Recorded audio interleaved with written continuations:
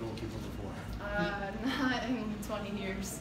no, I think I played a little bit when I was younger, but um, a game or two when I'm sick, I, six, I don't think that counts. Coach said your eyes lit up.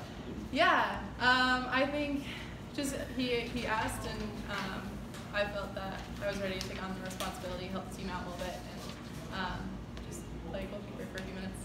Well, when was the last time you played? Because the positioning thing. When was the last time you played when was the last time I played goalkeeper? Yeah. No, really, 20 years ago. Yeah. Wow. Yeah, I'm 24. That makes sense. Yeah.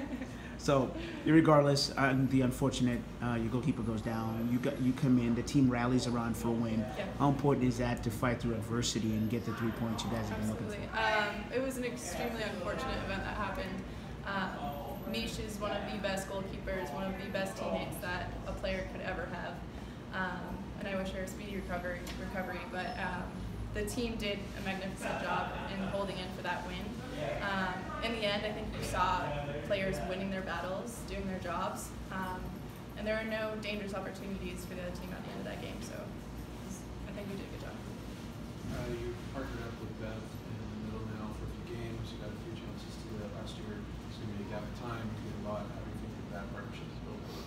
Yeah, I think the partnership's building well. Um, we have a long way to go, just like uh, any other partnership on the field. But um, Bev is like like Mish, that I've said before, is one of the best teammates and the best players. So I wouldn't want to be next to anyone else. Um, she's a really good communicator, um, really good player on the ball. Um, so it's easy to play with her.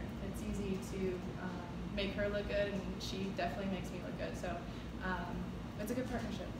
Uh, the team has not scored a lot of goals early in the season, Mhm. and you get that late goal. How did that feel like across the sideline and across the field? Was it like a cathartic release? Was it Yeah. something?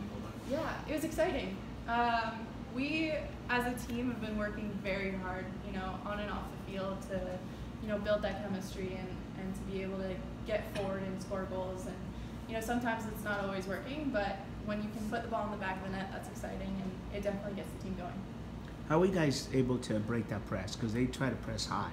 And then what, what were some of those things you guys were doing? I think it was persistence. Um, we never really gave up. We never really sat back. Um, so when we felt that it was time to go, we kept going until it happened. Um, and if you saw the buildup of, of that goal, the amount of passes that were connected, I think that made us successful.